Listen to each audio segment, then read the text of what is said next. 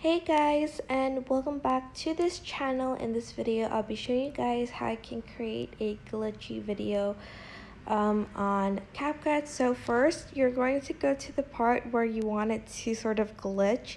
So about here and then press split and then I'm going to have it around, wait hold on, around um, 0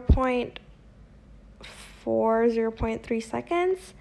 And then you're just going to press copy on this clip. And then on the first clip you're going to reverse it. So press the reverse button.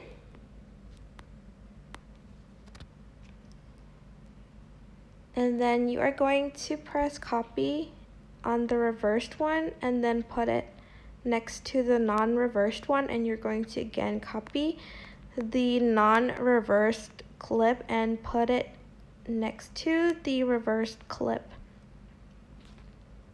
And this is the final result. I hope this tutorial was helpful for you guys. Don't forget to like, comment, share, and also subscribe to this channel if you haven't done that. If you have any questions, just leave it in the comment section down below, and I will try my best to answer them all. Thank you so much for watching. Bye!